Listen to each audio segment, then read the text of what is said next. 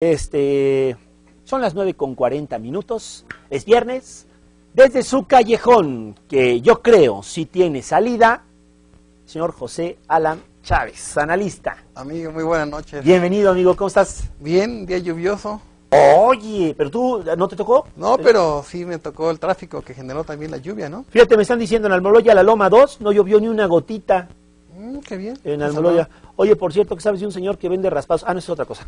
Bueno, oye, este, ¿qué, qué hay en el callejón? Yo leí esta mañana tu callejón. ¿Qué, qué- qué está pasando en el PRI?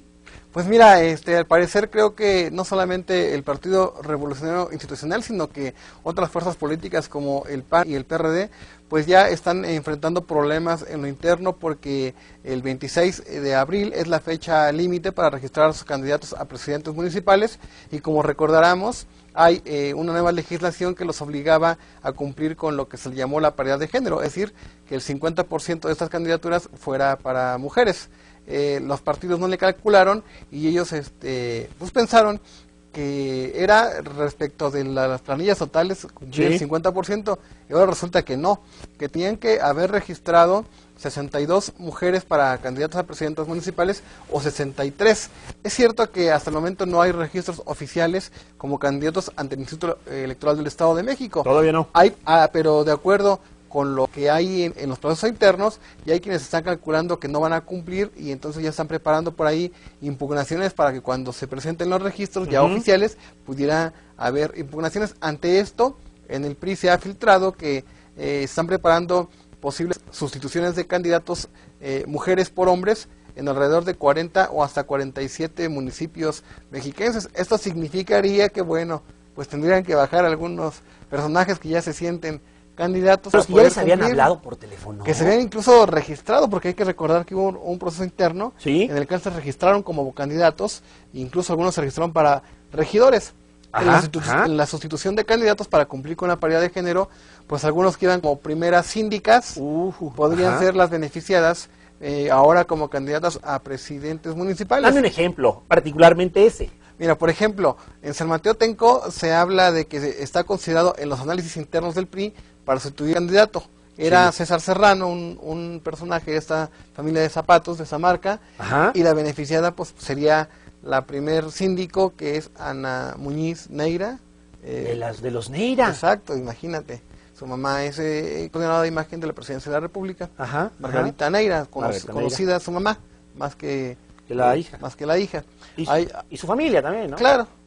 Y hay otros tíos. casos, de sus tíos. Bueno, los Neira, eh, todos los recordaremos que es una dinastía cuyo jefe político es Armando Neira Chávez, el senador, eh, que es líder de la CTM y que pues mucha familia tiene cargos públicos, ¿no? Sí, Uno de sí. sobrinos es subsecretario de Educación, eh, Jorge Alejandro Neira, otro es presidente municipal sustituto de Huesquilucan, eh, Reynold Neira. Sí.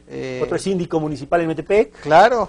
¿No? Y ahora, pues, la hija de Margarita, que presidenta No, hay, si esto... hay que apellidarse Ne- Neira aquí, ¿no? Así es, en Capuluac también podría ser de los que pudieran bajar al candidato, David Ujú. Arellano, este, No. Temoaya, Entonces, Apolinar. un mal cálculo del PRI al no eh, cumplir con la equidad. con la equidad. Eh, ellos midieron que tenía que cumplir eh, con el 50%, pero dijeron, no, pues con que cum- cumplamos con, con las planillas, ¿no? En la planilla, En la o sea, que metemos, que metamos cinco regidoras y cinco regidores. Exacto, pero ahora ya están viendo que no van a cumplirlo porque tenía que ser de 125 municipios que tiene el Estado de México, tenían que dividir la mitad, como no da, eh, tenía que haber registrado 63 mujeres o hombres y el resto el sexto Sí. o el sexo opuesto.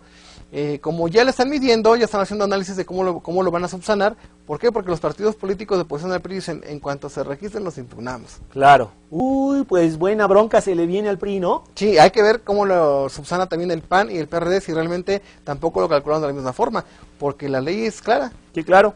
Sí, sí. Muy bien, amigo, pues muchas gracias. No sé, aquí estamos, eh, saludos al auditorio y nos vemos el próximo viernes. ¿Dónde pueden seguir tu columna? ¿Dónde pueden...? Todos los días en callejoninformativo.com.mx, eh, de forma impresa en el periódico La Calle y los acompaño a que nos vean todos los miércoles en Juego de Manos a las 10 de la noche por este canal. Qué bueno que nos acompañas, amigos. ¿Qué pasa? Buenas noches. Gracias. Nos vemos. Un abrazo, José Alan Chávez. Me dice, mm, Momen, deberías comentar la